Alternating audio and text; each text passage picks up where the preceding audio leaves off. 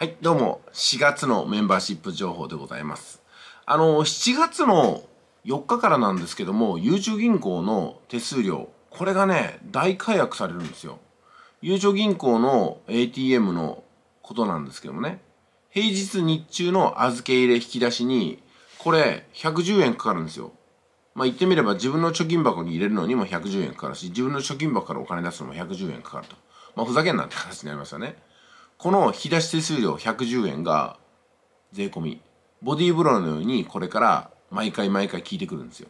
厄介ですね。で、しかもね、土日とかにゆうちょ銀行で引き出したりとか、ね、入金したりするのに220円も取るんですよ。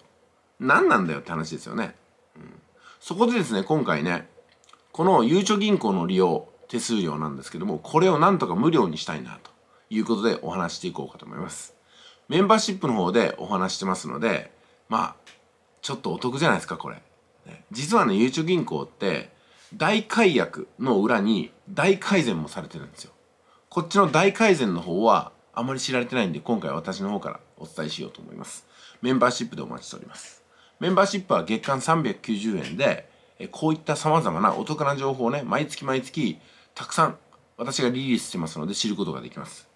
直接その情報を利用してお得になるのもいいですし、その情報をいろんなところね、メールマガジンとか LINE アットとか SNS に投稿したり YouTube にしたりとかして、多くの人に得をしてもらって、自分の顧客開拓に使っていただければなと思います。まあなんせね、お客さんっていう考え方じゃなくても、こんなお得な情報を知ってるっていうふうに噂話するだけで、きっと多くの人から、もっといい情報を知りませんかっていうふうに人気が出ると思うんですよ。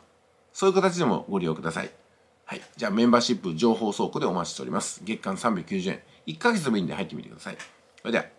今回は、ゆうちょ銀行 ATM の利用手数料を無料にする方法です。